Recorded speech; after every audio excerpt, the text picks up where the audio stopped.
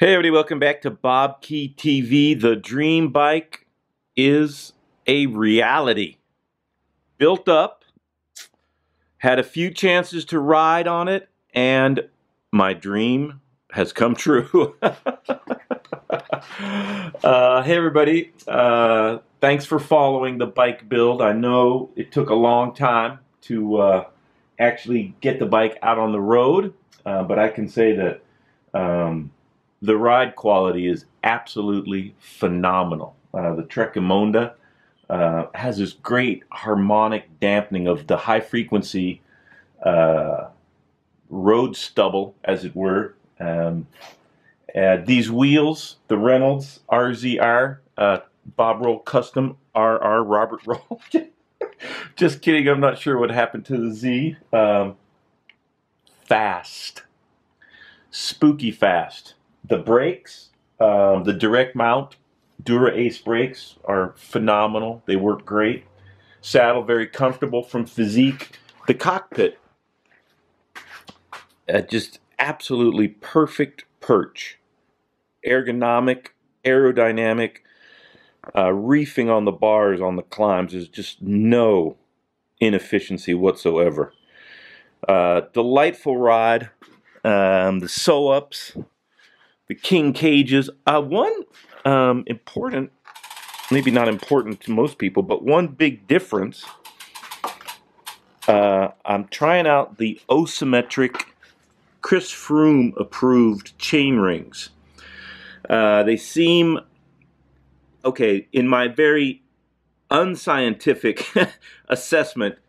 Climbing, sustained efforts, little bit more efficient can use the same gear with a tiny bit less effort uh, at the same speed. Top end, attacking, jumping, not quite as quick as round chain rings. Um, the 10 speed rocking, the bar ends, just precise, perfect. I've had a few flats, so got my spare tires going. I've got some uh, some sew-ups on order. So those will be coming back at some point, but uh, just love it. The seat mast, really well executed by Trek.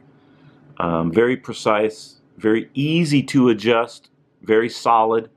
Uh, and this is a challenge. This is a challenging part of the bicycle for a lot of companies. Uh, I like the integrated seat mast. And this seems to be a very good compromise between uh, seat clamp and being able to adjust the saddle uh, to, you know, half a millimeter, you know, microscopic adjustments, infinite, in fact. So I like that a lot. Uh, really, really enjoy this bike.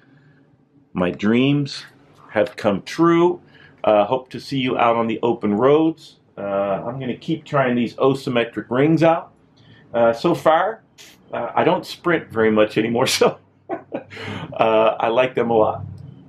Thanks everybody for your patience getting this bike together. Um, that's it. Follow me on Facebook and Twitter. You can subscribe and uh, you can buy some merchandise by clicking on subscription and t-shirt icons. Thumbs up, greatly appreciated. Uh, and please comment. If you could put a dream bike together, what would the components, frame, tires, handlebar, uh, etc., um, what would they be? And what is your favorite water bottle cage? For me, it's King from Durango, Colorado. All right, everybody. Thanks a lot. That's it for this edition of Bobke TV. Until next time.